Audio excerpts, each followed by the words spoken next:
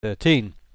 Let's get to the point. If you live and breathe Facebook and wait for every update from your friends with breathless anticipation, then the HTC First may well be the phone you're looking for.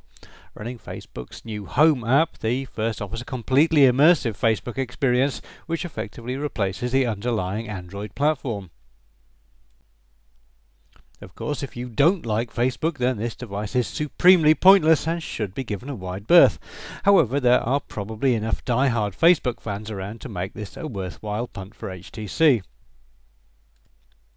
We won't go into much detail about Home except to say that the Facebook stuff starts on the lock screen and seems to go all the way through. It sounds either fantastic or horrific and to be honest we'd probably side with the latter.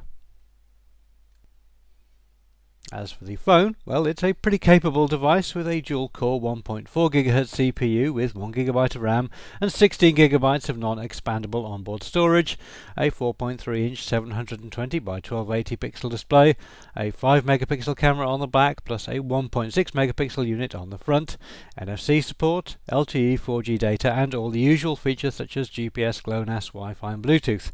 There's a reasonably large 2000 mAh battery which should mean that you can do whatever Facebookers do for a reasonably long time. The phone isn't really much of a looker, and HTC haven't put their logo on the front for some reason which makes it look anonymously bland. There are some different colours available it seems, but it's nowhere as desirable as the HTC One which also runs the Facebook Home app if you want it to. AT&T in the US will have the HTC First from April the 12th. Orange France and EE in the UK will also have the first at some point during the summer. No guidance was given on price, but we would think that the HTC First would retail for about 400 euro SIM free.